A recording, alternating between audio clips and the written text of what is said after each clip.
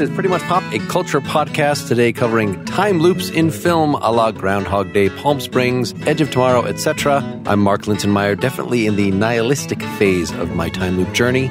I'm Erica Spyres again. And once again, none of this matters. I'm just going to have to do it again tomorrow and for the rest of my life.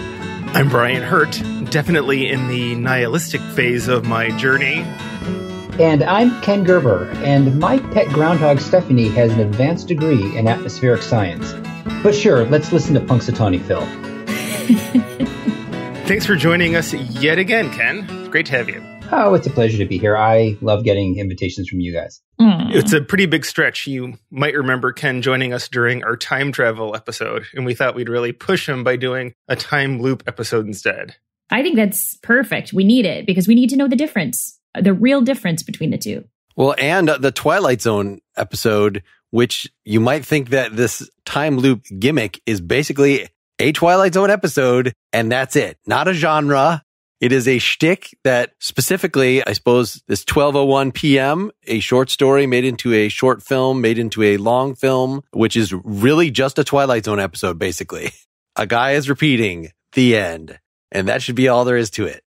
First of all, happy Groundhog Day, everyone. This episode is coming out on Groundhog Day, so let's pretend we're already there and reliving it. That's why we're doing this, or somehow why we landed on this topic, and maybe as an excuse to have Ken back on. And someone should mention what the hell we're talking about with Groundhog Day loops for someone who doesn't know what that is and what specifically it is and what specifically it ain't, because there are a lot of movies that are time loop movies that aren't really what we're talking about today. Ken, give it a shot. This is a great showcase of the flexibility of my knowledge and the, the breadth of it because, as you pointed out, I can handle all kinds of subgenres of time travel science fiction. Interestingly, I did not see uh, Groundhog Day at all when it came out. I kind of knew about it because it's one of those movies that seems to get talked about enough outside of the actual, you know, people who just came out of the film. I'll do my best to tell it for those who somehow like hadn't heard of it. A Groundhog Day movie, I guess lower G and H, is uh, one in which a character, usually one who's unlikable at first and maybe unlikable the whole way, repeats a day or repeats a time period and are the only character in the story who realizes that time is repeating. And each time they repeat, everything resets except for that character's knowledge of previous iterations of the time loop. Sound about right? That's a very concise way to put it. Yes. Great podcast, everybody. All right, now let's do it again. That's right, Ken. And as we were putting together our list of which ones we had seen and not seen, a number of things came up that are very much time loop movies, people who are reliving the same period of time, but typically they are going through it as a different iteration of their own character from the first time through. And Back to the Future 2 is one that a lot of people will know as Marty McFly relives the events of Back to the Future 1, but he's also witnessing himself and he is a separate character going through that same time space. And we see that a lot in a lot of different movies and, and in science fiction, but that's not the Groundhog Day time loop. And more recently with Groundhog Day having come out in the early 90s, is that right? 93. Okay, 93. Uh, more recently, much more recently, would have been the Netflix series Russian Doll and the movie on Hulu Palm Springs. For those who think that we always just talk about stuff from our own youth. And there are so many tropes in these types of movies that Brian has created something that we will share with you all that I highly recommend, which is Groundhog Day Bingo. I really enjoyed using this as I went along and watched some things this week, Brian. Did you play? Did you win? Did you get a bingo? Yeah, I did. I got a bingo. I watched Before I Fall this week, which is not something that I thought was going to be a good movie, but like just for the sake of the podcast, I was like, ah, why not? I'll throw that in there. And it was one of those movies that was easy to watch while I was also doing work and playing bingo all at the same time. So some of this stuff, I'm not as well read as you. We all know this. Like solipsism, I actually had to look up, and I'm still kind of confused about what exactly that is. Oh, I'm just a bullshitter, Erica. So I don't know what it means. I believe it means that you believe that you are the only person that actually exists, that the universe is either an illusion or a construct or just something, that it's you and everyone else is not actually How am I doing, Mark and Ken, the philosophers? Yeah, that sounds right to me. I guess the idea here would be that someone who is the only person who knows that the day is repeating, you could see where they might think, the one who exists, this is my universe, my dream, and who knows what else is outside of it. The funny is that, that was the one entry on the bingo card that I couldn't remember specifically matching up with any of the works that I watched. Did you have one in mind where the character like uttered, "Oh my god, I'm the only person alive" or something like that? You know, I was hoping that the movie Groundhog Day itself would be a blackout card, but I'm sure it's not, and it could well be. You know what, Ken? Maybe we'll write a story with solipsism as the thing. So rather than believing that you're the only person that matters, like more of like a messiah complex, solipsism is believing that your universe literally is the only one that exists. Other people are just almost like a program and you're the you're the only real living thing. And I think Messiah complex should better be Messiah complex slash God complex because we definitely see that with Phil Collins. Uh, Collins. Oh Phil oh Collins. What's his last name? Connors. Connors. Phil Connors in, in Groundhog Day. Who found doing research for this podcast to be an utter and miserable grind? I enjoyed it. I was interested in where this idea came from. I was looking for historical, you know, short stories that were early on, and it sort of seems to be something that happened very gradually. And that short story that I mentioned from 1973, 1201 p.m., maybe the first one with a full on time loop you know, that's not, actually not true. But that guy, Richard A. Lupoff, as I said, his short story was made into a, a film twice in 1990 first, and then a TV movie also in 1993, the same year as Groundhog Day. And he regarded Groundhog Day as completely ripped off from him. But I also found one, Malcolm Jameson doubled and redoubled from 1941, which that one he has been cursed by a gypsy, or rather blessed he at the beginning of his day he gives a gypsy a homeless person way too much money. And she's like mutters apparently that his next wishes will come true. And he said had such a good day. He's like i wish every day would be like today. And so he finds this out when he consults a magician deep into his repeats who uh, manages to set things right. Has there ever been a property that explores the other idea where everybody else is going through a time loop and there's only one person that's actually having anything change in their day? Just a flip it and reverse it kind of Groundhog Day? Oh, you mean where everyone knows things are changed except for one poor soul who doesn't notice? That would be very strange. I'm thinking what was making me think of this is is this whole quarantine, right? Where we all kind of feel like we're living the same day over and over and over. But maybe there's one really lucky person who's just going about and doing whatever the hell they want. And guess what? I mean, there are people doing that and the rest of us are literally just living the same day over and over. in Kurt Vonnegut's Time Timequake, everyone goes back in time and has to witness themselves reliving their lives. They can't change anything, but they are observers to their own mistakes. Is all of society just has to relive a good portion of their lives. That's the right one, isn't it, Ken? Yeah, I think that's the one. Not quite the same thing, Erica, but it is a, an effect that happens to everybody. But somehow it's to be repeating and not being able to stop yourself from repeating is somehow the a little bit the opposite of it, I think. Yeah. I think a precursor to this kind of time loop that we're talking about is I want to go back and live my life over knowing what I know mm-hmm. now. So that at least goes back to 1915. There's a whole novel called The Strange Life of Ivan Osokin that apparently is that thing. And there have been more recent versions of that. There's a famous novel called Replay from 1986 where a person lives 20 whole years of their life and does that repeatedly. So there are all sorts of different variations of this. I think we've settled with Groundhog Day on the day long thing, which is less irritating than in 1201 p.m. where it's an hour. And his, the whole thing is like, how much can you actually get done in an hour? I want to go talk to a scientist about what's going on here. I can't even get to his office before the hour is almost up. Like you can just do almost nothing. If it's been done so many times and Groundhog Day really wasn't the original, why is Groundhog Day, as far as three of you guys are concerned, so revered? It caught me a little bit by surprise that it was so revered because I watched it, rewatched it.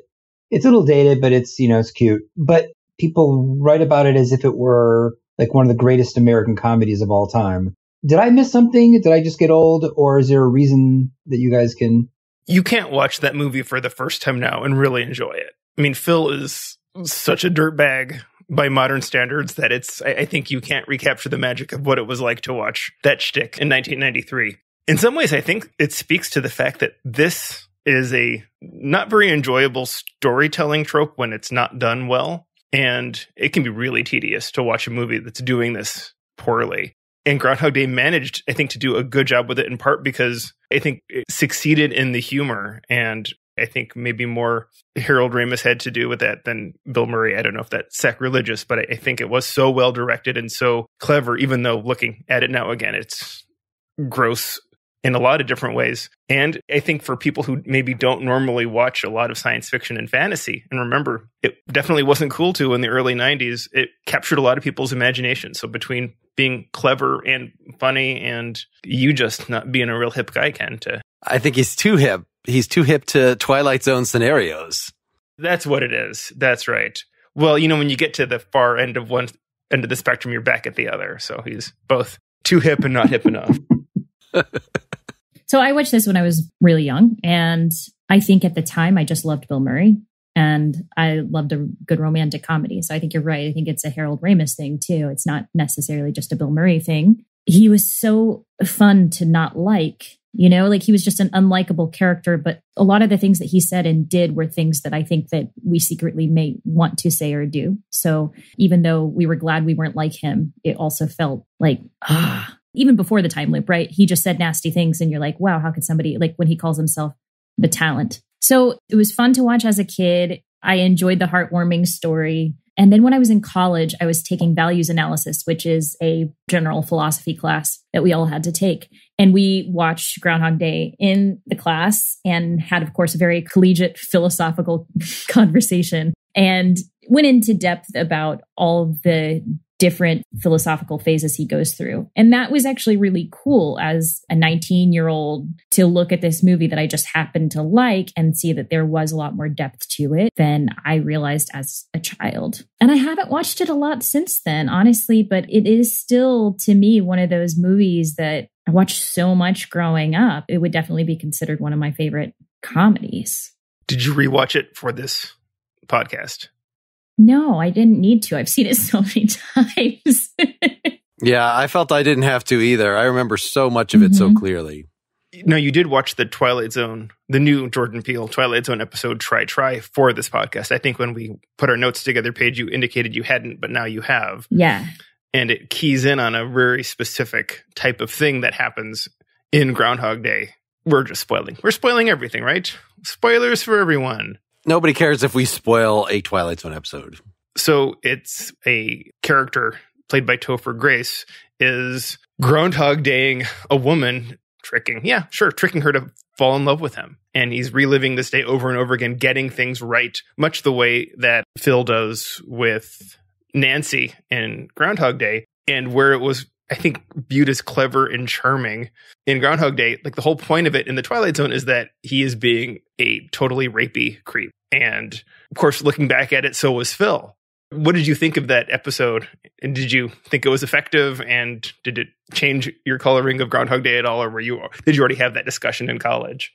No, it, it did change it as I was watching the episode, I was like, man, Topher Grace, he's just so likable, right? And he is. But then I think one of the main differences in the Twilight Zone episode is they keep giving you like creepy music. So he's never quite as charming as he could be if he was given like the cute little Harold Ramis treatment. I think that's one of the main things is like when you're given this structure within romantic comedies, you do see that person less antagonistically. It's just going to happen. But yeah, I thought that was really quite a twist because they actually went through a lot of the same issues that Phil goes through in Groundhog Day. And then all of a sudden, this guy, you think he's either going to murder or rape her or both. And it's really scary. And I'm glad, like, in the last moment, I was like, oh my God, it's going to end with him coming up to her and she's going to like fall in love with him. And that's going to really creep me out. But I was so happy that they ended it with him walking away from her. Of course, you know, the next day he's going to come back. Maybe. Yeah. But they also showed what a bad dude he was in other ways because part of him getting her attention is saving her from walking in front of a bus. And he doesn't always get the timing right. And sometimes he grabs her too early, but at least once he grabs her, grabs at her too late and she just gets killed. And I think he just sort of shrugs it off. And I'm like, all right, well, give it another shot tomorrow. So the true emptiness of this character really comes to light in yeah, that and one. a lot of these stories were redemption stories, and that one isn't right because he walks away not because he's realized how horrible he is, because he's kind of not I don't know afraid, but like he doesn't want to be confronted again with he got his ass kicked. So I think he just basically like a nasty dog who got their snout swatted. He kind of slinks off. You know, redemption was one of the big tropes that was in not all, but most of these. So again, that was good that it broke the trope mold a little bit in that, uh, that Twilight Zone episode, which I, we talked about last time was really one of the underrated ones I found. I also thought of Westworld during that, how you know, initially meeting this wonderful Western lady and falling in love with her. And then the next day she can't remember you and she is programmed to do a meet cute with you in the same way. And eventually you just grow absolutely contemptuous of this. And whatever feelings you had originally would just be this is obviously an automaton. I, I, would see how if you were in that situation, you might see the other people. This is a form of solipsism just have absolute contempt for them and their repetitive ways. And because it seems like they're programmed and you're not. I hadn't thought of that one. That's a good Groundhog Day adjacent one there, Mark. One thing I wonder about all of these properties, because I can't think of one that's not like this. I'm sure they're out there. Most of them either revolve around or at least have somebody in there who is a love interest. But I can't think of one that actually has somebody that you're married to that that person can no longer remember things and is reliving reliving the same day with you. I feel like most of them, the trope is there's another person that you're kind of interested in, or maybe you don't like, and then you end up liking them. And it's about manipulating that kind of relationship. And I was thinking, how difficult would that be? Because I don't think it would work, right? If you're reliving the same day over and over and you have your husband or wife next to you and they don't know, and you have to keep reliving that, I think that's a lot more difficult of a story to tell many of our married listeners are saying it already feels like every day is. I can actually tell you about one, a lesser known one. It seems there was a really a flurry of these things from about 2015 on. There's this list of time loop movies on Wikipedia where not all of them are really time loop movies. Some of them, like Looper, are, as we said, it's just time travel or let's reimagine how this situation could have gone multiple times. But on honest to goodness time loop movie, one was called The Fare, which is just a guy picks up a woman in his cab and is driving her across the countryside and they strike up a conversation. But then within an hour, she disappears. He resets. He forgets. She gets back in the cab. So they're evidently in this loop. And before that long, it does turn out that she's been remembering every single time. And in fact, they are in love. And once that he can finally figure out, he can finally remember as well, then it, for at least a while, becomes a paradise that they don't mind, even though they have to keep doing this cab ride over and over again. They're living together there are a lot of unaddressed questions and the movie gets weirder from there. But at least that is one thing. I guess that was what was going on in Palm Springs, right? At least for a while. In Palm Springs, there was a secondary character who had the married life, right? J.K. Simmons. And for him, this was like the best thing. I mean, he loved every day. Eventually, he did. Yes, that was his redemption. Yeah. Right. At the beginning, he was sort of tormented by not getting to see his kids grow old and stuff. But he eventually is like, I had a great day. My one day that I repeated was a great day, and he's okay with that. And it seems that several of these newer shows have had multiple loopers in different ways, right? Edge of Tomorrow has two, and they don't loop at the same time, but it happens. Palm Springs has three, Russian Doll has a couple, Repeaters has three. So looking at the different configurations of having multiple people doing it definitely adds to the complexity of the story. And I think it also speaks to the fact that viewers are better at watching these and you have to throw new wrinkles at them and not necessarily start from the beginning each time because it's not going to be that enjoyable. To the point where Palm Springs, when we first start off, the main character has already been looping and he is spending one of his days just wasting it away because that's the phase he is in. And I think if we haven't seen it from the description of the show, we ease into it very quickly, knowing what's going on without having to see the build up to that happening. I wonder if anybody's seen Palm Springs without knowing it was a time loop thing. Like I couldn't get my family to watch it unless I told them.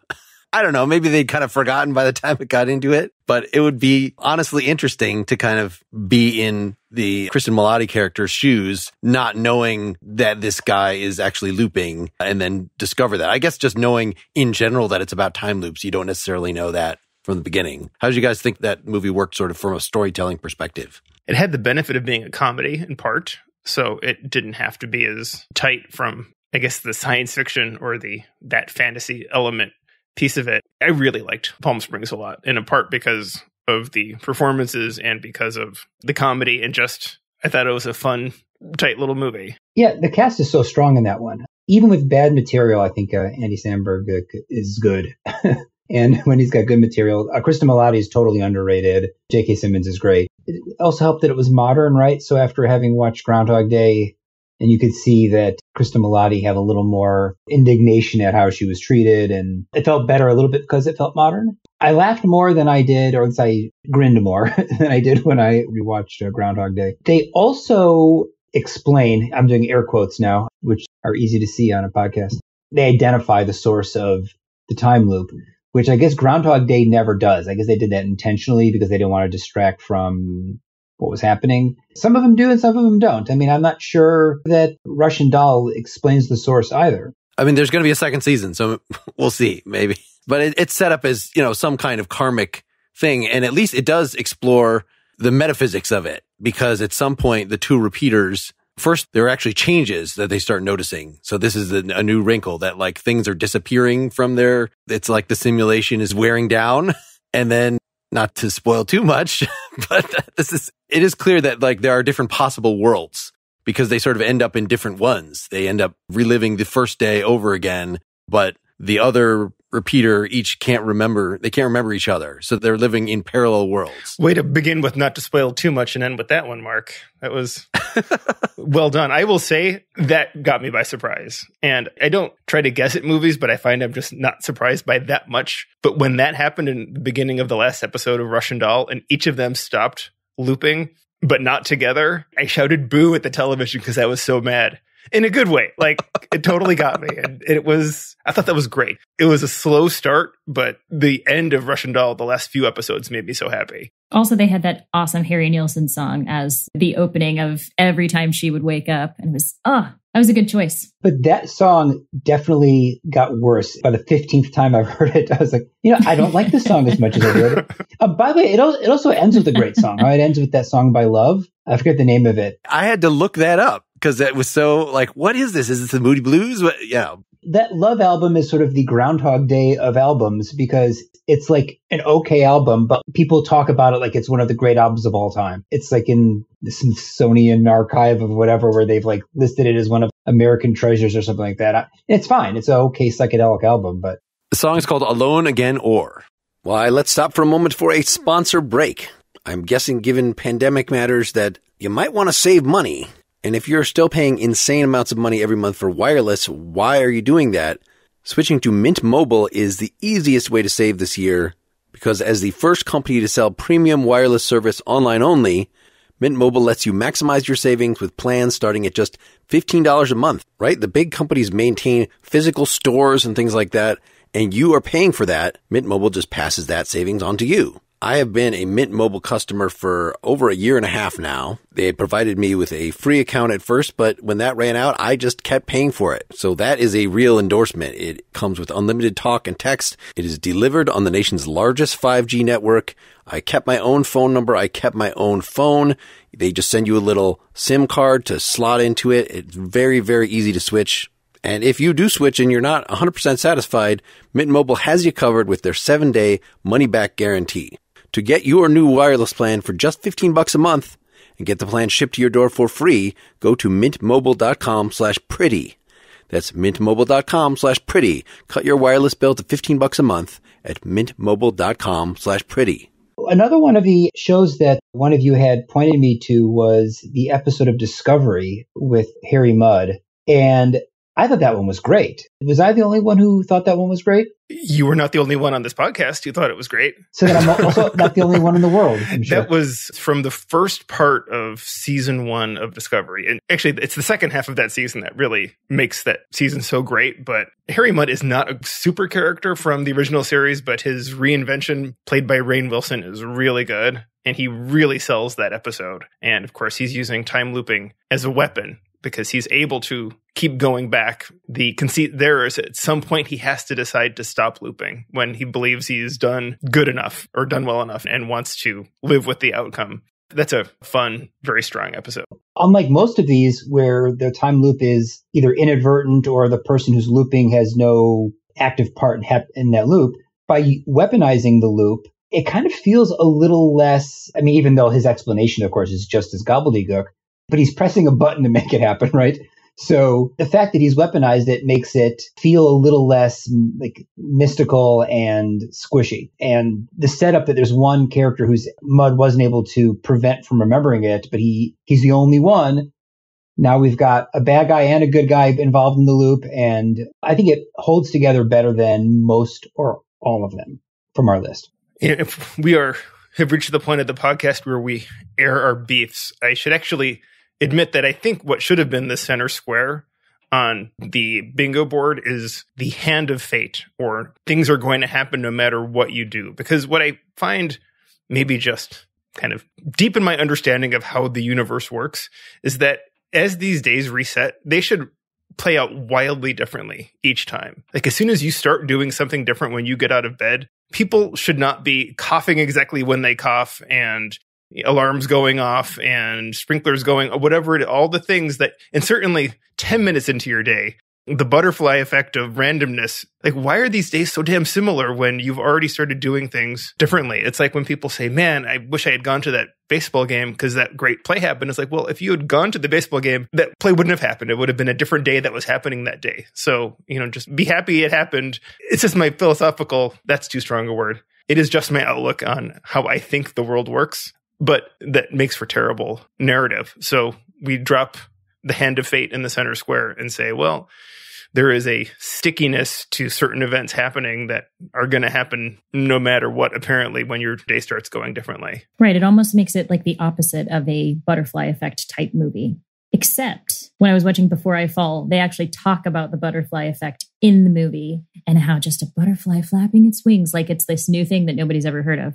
I mean, they are in high school, but still, I'm tired of it. So they talk about that. And I think they actually say uh, like a bluebird or something. Like they don't even use the word butterfly. it's a weird choice. It feels really weird, but the main character keeps changing how she plays the day, and everybody else is literally giving the same lines the rest of the day. So they hung a lampshade on it and said, "We acknowledge it and we don't care." Yeah.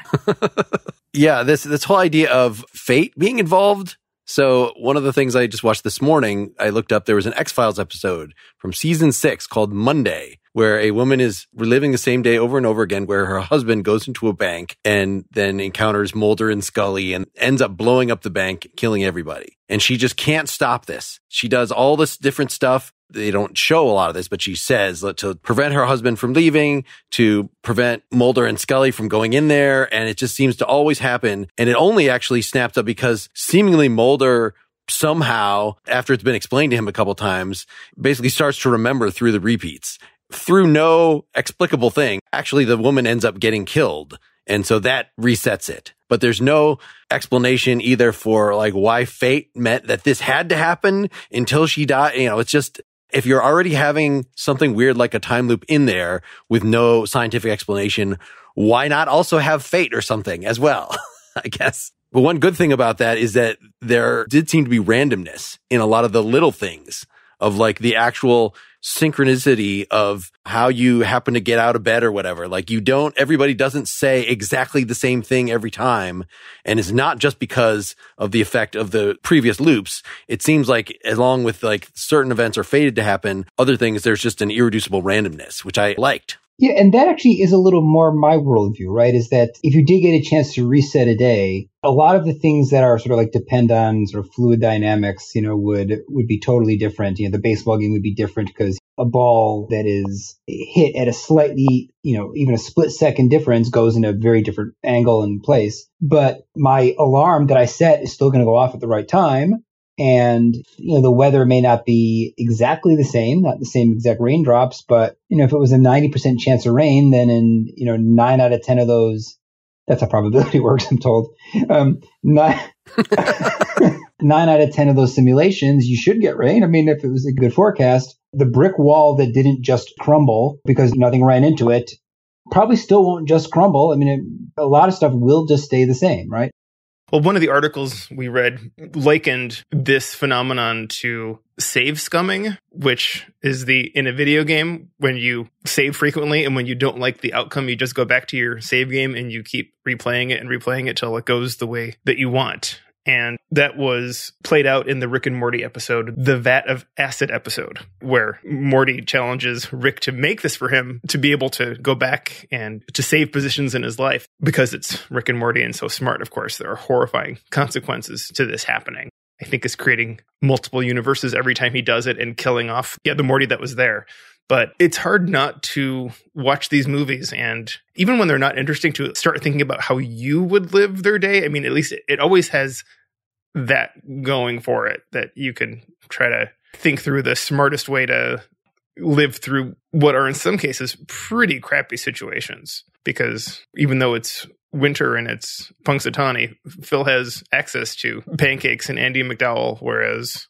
in Edge of Tomorrow, you're pretty much stuck with Normandy Beach with bugs, or at best, getting as far as London before everything falls apart on you. If you do a modern take on this now, and you acknowledge all of the things that have come before, you have to take into account that your actions do matter, even if you continue to relive.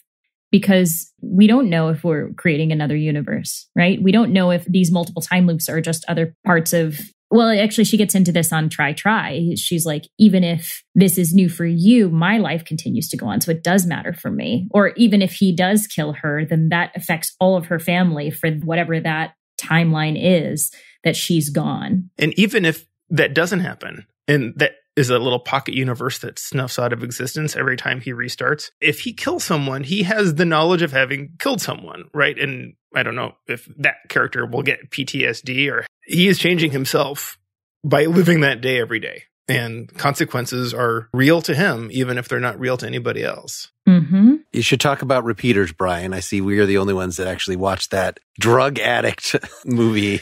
Well, it's three people who are in recovery and they are all reliving this same day. And it's the day that they are supposed to go out and whatever step it is to make their amends. So this is their first free day they're allowed to leave the facility. And two of them are generally good people who made bad choices. And the third is just a bad dude who is going to use that day to kill cops and rape underage girls. So, I mean, this thing is super dark and not enjoyable. Maybe you thought it was a laugh out loud comedy, Mark. I don't know. The nice people are Ted from Schitt's Creek and Monica from Silicon Valley, which when I saw this before years ago, I did not know either of those actors. And now seeing them and like, oh, those are the, that's the nice guy from Schitt's Creek.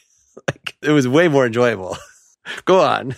It was a tough movie to watch and not particularly enjoyable, as I said, to watch. And it's one value that it does add is it, it does show that there are people who would behave in not cute criminal ways like Phil, but truly criminal ways. And I guess you have to also be a little challenged to know, well, where would you draw your lines? Like, I think I would just steal whatever I wanted to steal. Like I know I would. That would seem like such a victimless crime to me to just take whatever I wanted, like property wise. I'm just going to relive this day, and no one who I stole it from is going to be. But what do you want that you can't have now? The Declaration of Independence. Oh well, yeah. uh, I was just going to say contact with other people. I don't know. going anywhere and doing anything. No, you can't steal that though. Well, I guess you kind of can if you're reliving. Yeah, I'm with Ken. The Declaration of Independence. Brian though makes I think an important distinction here, and uh, so as we currently sit, like in some sense, every bad thing we do, whoever we've done it to, will someday die, and then the memory or whatever of that crime is gone. So in some sense, whether we're rebooting in an hour or a day or in 70 years, well, don't worry. I, am I'm, I'm going to commit some horrible assault, but in 70 years, it'll, it will be rebooted when they die. The only difference is that one person remembers doing it. I like to think that I would view the person who's experiencing a physical act against them, even if they reboot, that in that moment, they are experiencing it. And that's what matters, not whether I remember it, but the fact that some sentient being is, is experiencing it. So if Brian limits his crimes to theft, to late treason. Yeah. that was a funnier joke before one six. Anyway, if you limit yourself to not hurting people, I mean, maybe, maybe ideally you steal from people who won't. I mean, you also don't want to steal something that someone would value and it'd be heartbreaking for them, right? To lose. I mean, that would not really a victimless crime. But you know, I thought about how I would react, and I think my mental health would suffer so badly that I'm not sure I'd get to a like a daily strategy. I think I would be so tormented by what I was convinced was my own loss of mental health. To actually repeat a day and have no one remember it, I don't see how I would go on. I really don't. This is like what we discussed in our Twilight Zone episode. How long in your story do you devote to the person coping with the situation they're in? Which in movies like Groundhog Day, we simply skip a lot of that. We just, you know, he's had a lot of repeats. He's gone some very dark places. We see a few little bits of it, but it just, it would be very annoying storytelling unless that's what it's about. It's like somebody has a weird thing happen to them and they're crushed. like that doesn't sound like an entertaining story. I don't want it's like having an alien abduction story and the person gets returned, but it just has PTSD from being abducted. And that's the whole movie. Like maybe there is a movie like that. I don't know that I want to see it. That's a good point. That what actually happened and what makes a good story, they're probably not the same thing. Yeah, I remember early on having discussions with friends when I was a teenager about how many days did Phil Connors live that Groundhog Day. And the first thought was, oh, I think somebody said they counted the days and they're like, it's just an extra month what if it's just six weeks? I mean, we know it's probably not that because I think somebody has actually counted it, but also like how long would it take him to be great at ice sculpture and piano and all these things. But I think had they contained it to those six weeks, that would have been a tighter story. And it really would have made sense that they chose Groundhog Day as the theme. I like the idea. It's a more pure thought experiment if it's basically forever. And then eventually something happens that they figure out a way out, maybe. But if it's really there's no doubt about the metaphysics of it. I don't know. This is at least the conclusion in Groundhog Day and Palm Springs that they come to is that it will always repeat. Nothing I do have consequences. And so that really is okay. If there's no consequences, how would you choose to live your life?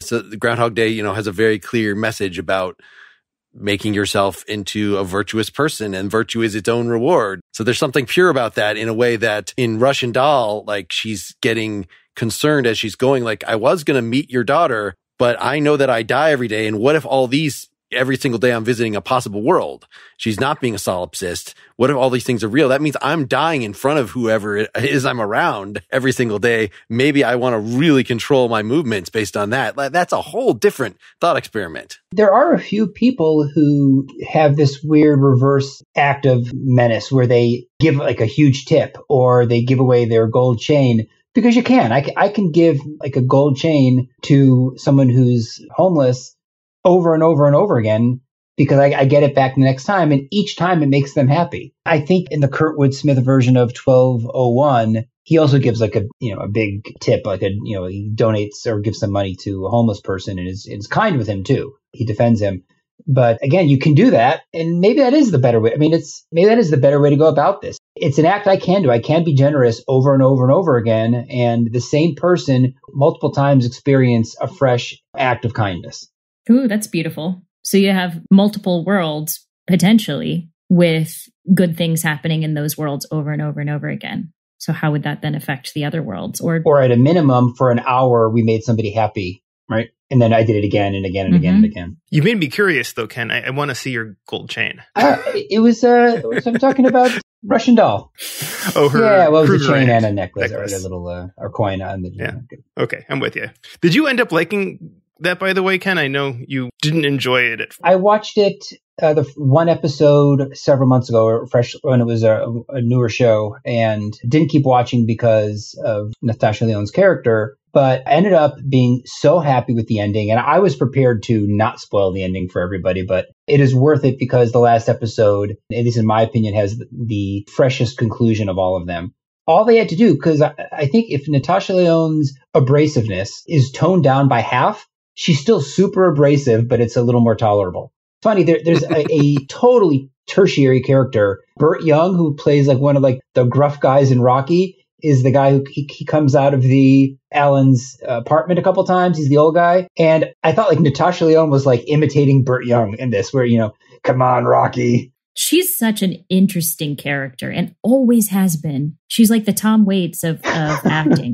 That's good. You know, she's always going to be this kind of surly old woman from the time she's a teenager all the way on. She's just she's just aging into what she's always been. She mentions Andrew Dice Clay too.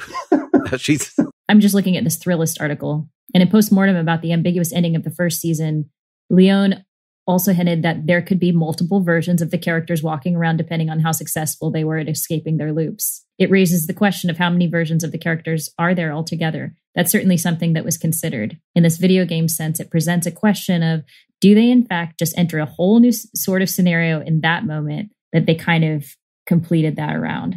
Sounds like plenty of material for about 50 more seasons. Well, I like your interpretation, Erica, of Groundhog Day as maybe I did the perfect day. And so if I do that every day, then that's that many possible worlds that I'm spinning love out into, which is not how I considered it at all. I thought he would like was certain that, you know, he was being solipsistic, that it's really just, it's like playing a video game. We haven't mentioned this video game comparison. It's just an obvious thing that you, we all can be in this situation just by playing the same damn video game over and over and over again. But if you, you know, after you discover all the secrets and places you could get points, like there's, can you have the perfect run? And so that's kind of what he's doing. And, let, and nobody benefits from that except you and your sense that, wow, that's cool to have the perfect run. But there also is the sense of what if this is real? Or what if I actually do wake up tomorrow? Or I guess thinking that the perfect run is the thing that you're shooting for. And then you do get to actually get out of it, which I think is what happens. I mean, it would be kind of amazing if they end up doing one of these movies. And the one time that they get out of that time loop is when they make the worst decisions. And then the rest of the movie is just dealing with the aftermath. Well, that is kind of what some of what happens in repeaters. I guess I should have watched repeaters. This is what you're telling me. It's it's a big two thumbs up. Mm, it's not that good. it's an interesting variation and the fact that they're addicts and addicts always go back to the same patterns. Like it just really slams you over the head with this thing. And I don't mind giving away the end of that is there also is a multiple reality kind of thing in that because two of the characters finally do the thing that they're supposed to do. The third character, who I think, despite what Brian said, is not evil by nature, but just is firmly convinced in the solipsistic character of it that I can do anything. I'm in the video game. Why would I not want to go rape and murder? Just to see what that's like. I think it's even implied in Palm Springs that he did that before we encounter the character. But in Repeaters, you know, even though they fulfill what they need to do, the third one is acting worse than ever. And they realize that they're actually already out of the time loop. They realize it's the next day already. And he's been like murdering people all day. Their lives go on, the two people, but then he wakes up again and apparently has given yet another chance. So there are always more variations one can have and even the end of Palm Springs does a similar weird thing with the third character, right? With J.K. Simmons and possibly a fourth character. Mm-hmm. The grandmother. It's it's hinted at, right? Mm-hmm. So we don't know how she got out of it, or if she like, or if, if she wants to. She's old, and maybe this is her her retirement is living a very nice day over and over. Yeah. You talked about the video game. Um, if I'm not mistaken, Edge of Tomorrow is uh, was inspired by a video game. Is that right? Or by a person who played video games? Yeah.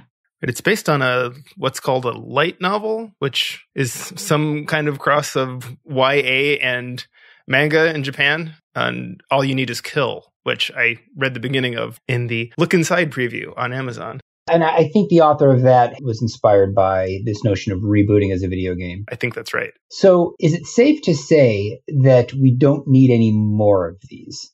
That if we lived out our TV and movie and book reading lives without encountering another time loop per se, that we wouldn't look back and regret, you know, why didn't they make more of these? No, I don't agree at all, Ken. I think we acknowledge it as a trope like time travel or faster than light travel or ESP or anything else that is not the subject of the story so much as something that is used to tell the story. And if you can do it well, that's great. And if you can do it poorly, you're among the millions who can do it poorly. Congratulations. I think it's challenging. And I think, like comedy, when it fails, it fails spectacularly. Yeah, uh, perhaps the problem is that in the last week, I've watched about eight hours of this trope. well, that's why I called research the grind. I didn't really mean research like you did, Mark, like learning about it. I meant research in quotes that I'm now doing that everyone can see in the form of like watching stuff. So watching these movies one after the next in the last week was just the worst. Maybe there's one day per year that you could watch a time loop movie, and I'm going to suggest I don't. I'm just spitballing here. February 29th. I think that this is something that you could use as a at least once in every genre. So there is like a team sex comedy version of it. There's Happy Death Day to You that we haven't really talked that much about today. That is a, a horror comedy version of it. There's this drama one about addicts that we talked about. There's Before I Fall is a teen anti-bullying screed, basically. Apparently was a popular YA novel before this happened. I noticed there are uh, two that have been made that will be coming, being made available to us that are about police shooting black people. And that seems a really ripe thing because it is something that we get this again and again in the news. It really does seem like a repetitive, like, how has this not been solved? How is this still happening? And the fact that when you suffer any sort of tragedy, of course, that's going to you know, keep coming back to you. Like anytime you get a way to relate this trope to something psychological that actually happens to us, I think that is a great opportunity for a new version of this. And it was done already somewhat in season one of Jordan Peele's Twilight Zone with the video camera, which when you rewind it, you relive. It's it's not the same day over and over necessarily, but the inciting day that it happens, regardless of what this mother and her son do, the son ends up getting killed by a white cop. So, Erica, you need to be in a musical where this is Time the, the musical. We'll see you on Broadway. There is a musical version of Sliding Doors called If Then. It's the same kind of idea. I think what these movies often try to tell us is not just to be a good person, but for ourselves, but to do it for others. And yet we continue to, I'm kind of back on this. We kind of tend to see these time loops go through until somebody does the right thing and then they get the benefit of doing the right thing. And of course, that's why we want to watch it, probably because it makes us feel good. But I do wish there was a way to show that these actions do. There is a way to show it. I wish more of them would show that these actions really do affect people for the long term and they can affect them. And maybe even if somebody gets to do time loops over and over again, they do see a slight wear and tear on people to know that like hey it's not all about me. I think those are the some of the stories we need right now. And i don't know how to do it the right way to make people want to watch and also feel like what we do actually does matter. Consequences are real.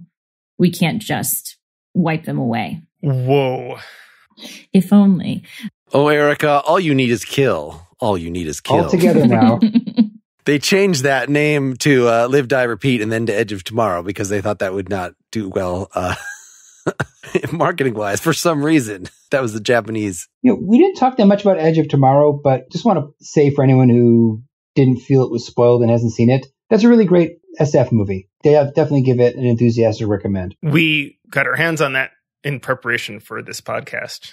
And Susan said to me, Why can't all movies be as good as this movie? And you done well when your spouse says that to you. Hmm. so good for me. well, thanks, audience. Thanks, Ken, again for joining us. Thank you for inviting me again. I had a great time. Thanks, everybody. Thanks, Ken. Always a pleasure, Ken. Thanks, audience. Perhaps Ken will stay for the after talk. I have several other things that I watched for this episode or read to tell you about, and we can keep going and get on different topics. For those who are not uh, subscribers or sponsors, if you want to hear more of us, just listen to this podcast again. but do so at uh, patreon.com slash pretty much pop, and then you'll do so with no ads and be able to hear the bonus footage. Bye, everybody. Bye. Bye. So long. Get more Pretty Much Pop at prettymuchpop.com. Get bonus content for every episode at patreon.com slash prettymuchpop. Pretty Much Pop is part of the Partially Examined Life Podcast Network, and it's also presented by OpenCulture.com.